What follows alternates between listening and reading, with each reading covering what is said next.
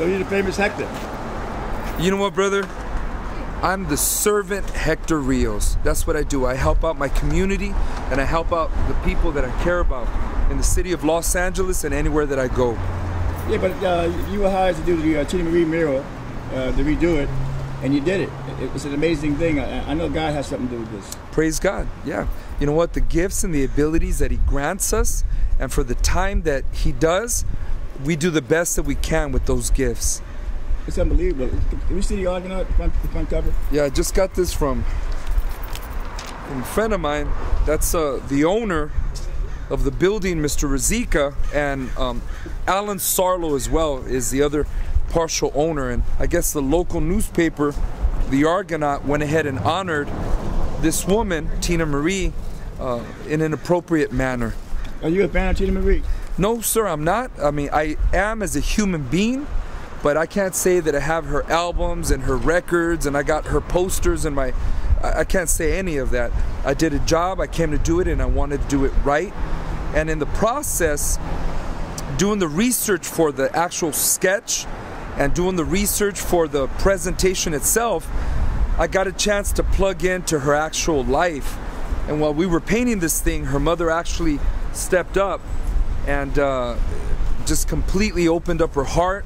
So I would say musically, I'm not necessarily her fan. I appreciate her music and I appreciate her gifts.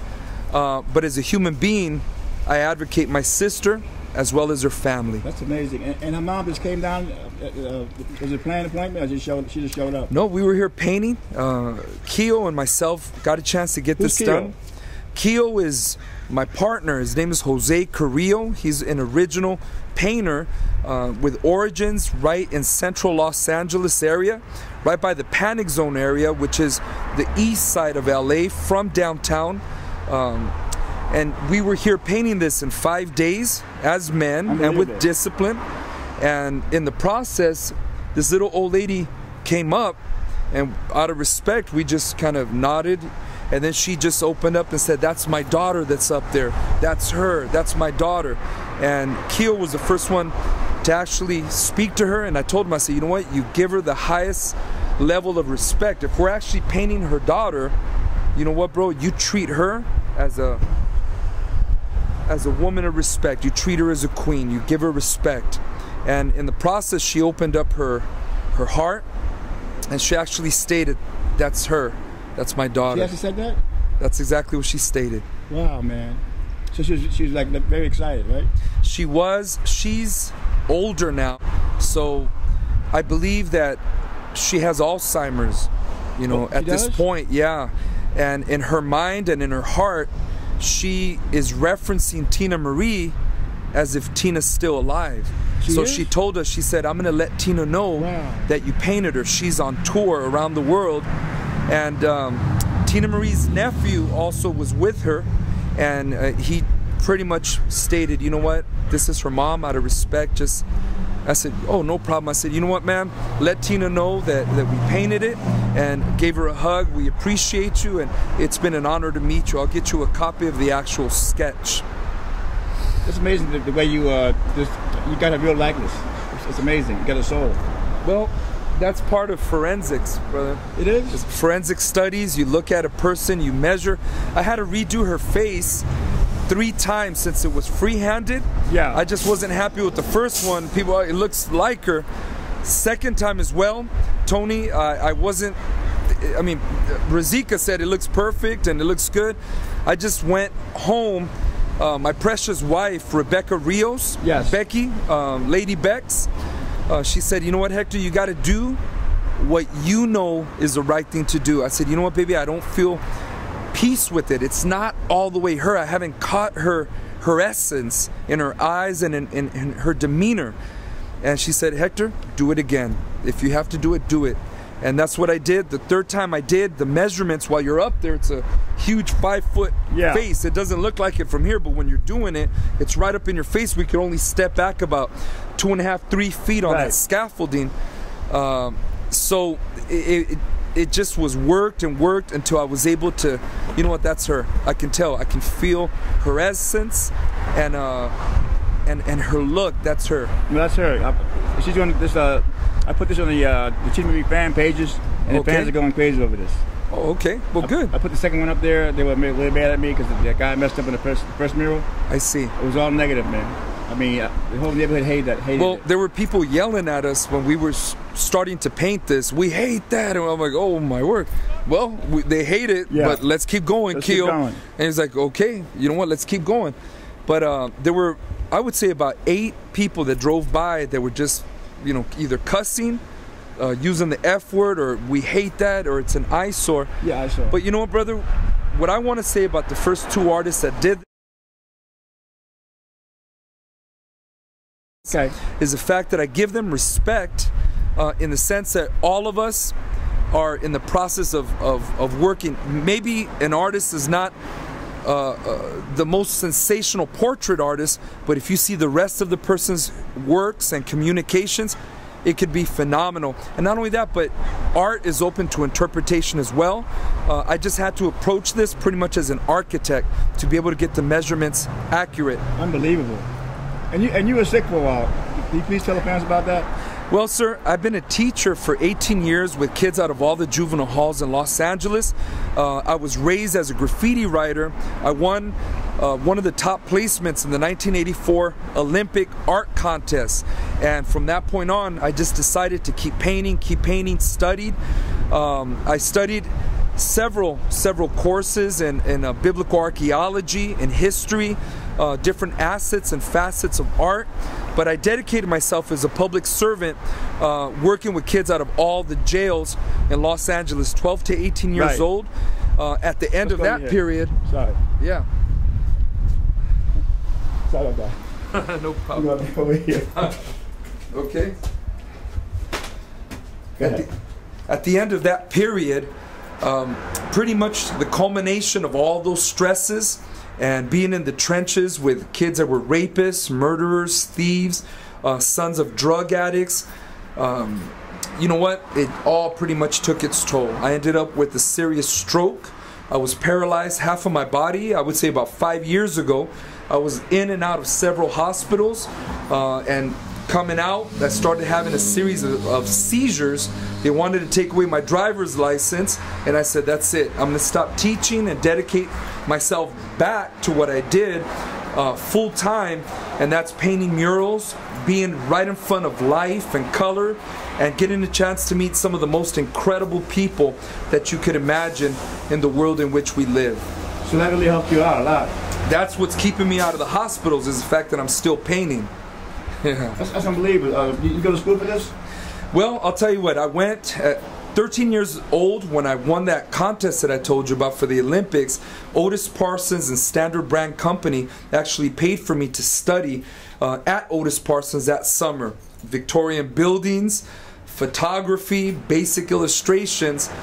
Uh, when I was 16 years old, guy, along with a guy named Genius from DTK, Maestro, a bunch of uh, writers that were there also, we all met up at Art Center. And again, they offered me several scholarships, but we came from, you know, a family that did not have the highest of dividend and uh, stock market stakes. So we couldn't afford to keep going to these expensive, fancy art schools. What I did is I went hard into the subterranean underground painting. I would get up and paint, do murals, and that's how I developed. And throughout the years, I was able to go ahead and study, but I was also able to to develop myself as a mural artist, first as a graffiti writer, as a graffiti artist, uh, both here and also in sections of New York, but primarily Los Angeles. Was that legal uh, graffiti?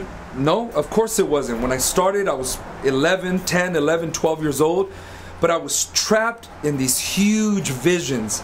Uh, you have to understand um, when you're painting these walls, you know, you you have to think on a large scale. Yeah. You know, you can't be just stuck to a little watercolor piece of paper or a little school project. But when I was 10 years old, I would get these huge visions and I would go out, figure out ways to paint, whether there were factories on, on the railroad tracks or at schools or wherever I could put up a message that was positive against uh, drugs or child abuse or against a number of issues, you know, that, that I would stand for. But I would paint these huge uh, these huge, massive scaled murals in color, mostly in spray paint. What's the biggest one you ever painted? Boy, I would say about 600 feet in the city of Burbank for a company called New Hero. Uh, Michael Gold was the owner of the company, and that was also highly publicized. On the very last day of painting this huge wraparound 600 foot environmental mural uh, that had very clear messages against the clear cut of trees that was happening in Brazil, and then also the honor of all of the earth animals from different habitats and environments. On the very last day, it was completely um, destroyed. It was? Oh, yeah, a couple guys went over, painted over the entire thing. So to me, seeing that huge amount of work uh, that took pretty much an extensive period of time, months and months and months to do, seeing it destroyed in that manner, it was either that I was gonna go into a, uh, you know, an anger cave mode, Yeah. or a retaliatory mentality, or I was gonna have the the inner fortitude to get up and get that thing painted again. And that's again? exactly what we did. I used the colors that were used against me inside of the mural itself Yeah. and it was way better the second time around after it had been maliciously defaced uh, than the first time when I had actually gotten the write off and, and the finishing of it. And the second time around, it was actually published in several books Wow. in the state of California as well, you know, uh, international mural books. How long did it last, that mural? You know, it's still pretty much up in those areas. I just haven't been there for maybe, I would say, 18 years. It's a long time. Yes, sir. This uh, mural right here will be here forever. It's, the, uh, it's, it's amazing. Well, you know what, sir? It's here now. Yeah. And this is a time for all of her fans and everyone that goes by here to appreciate it. But the word forever I got you. is an extensive, extensive idea. You gotta live day by day, right? yeah. yeah. Sure. You can have dreams, but you know what, brother? You appreciate the time Yeah. and the You're right. You can't, yeah you the things you have now. Exactly. Have you ever done a New York City uh, subway car? You know what, brother? I'm part of, of, of several organizations of people that grew up out of the New York subways. I painted several freight trains Wow. and handball courts as a kid growing up. And with the- my art classes that I taught the alternatives program, you could view it at alternatives.org. Um, working with these kids, mainly all kinds of ex-taggers, kids that belong to the to the court system, ward of the court kids uh, that are now in rehabilitation centers, or we get them right out of all the juvenile halls, and the majority of them. That's how they communicated, going out painting, you know, putting up an identity. A lot of times, territorial uh, uh, animosities Yeah. and territorial uh, dissensions and, and killings. So what I do is I work with those kids. They understand the fundamentals of taking a spray can and putting something up. But hey, man, you could do something way beyond that. You can use colors. You could understand colors. You could read every day. You could you could understand uh, territory territories that are outside and beyond your neighborhood. You know, think of of what, how people live in China. Think of how people live in Timbuktu, Zimbabwe, uh, Palestine, Israel.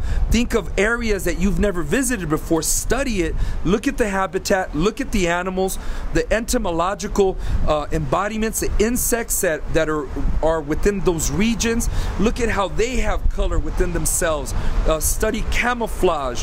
Uh, study the way they cohabitate with one another. Study the foods, the music, the culture, and then be able to think outside of your LA killing neighborhood where you get up and do your tags and think on an international scale, and you'll be able to do incredible works. You must be a big, a big hero to all these people. I'm sorry? You must be a big hero to all these kids. You know what, brother? I'm I'm a servant. Yeah. That's what I am. I care about them. I don't judge them. I don't look down on them. The only time you look down on someone, you know this, Tony, is when you're helping them back up. Yeah, That's the only time you look down on someone. I got you. And uh, what's your Facebook? It's Hector. Uh, well, I'll, I'll give you both. Okay. There's a graffiti a- aspect of Facebook. It's Hector Hex Rios uh, at Facebook, or there's the alternatives CYDP. It's a A R T E R N A T I V E S CYDP, Creative Youth Diversion Programs, on Facebook, or you can look it up online.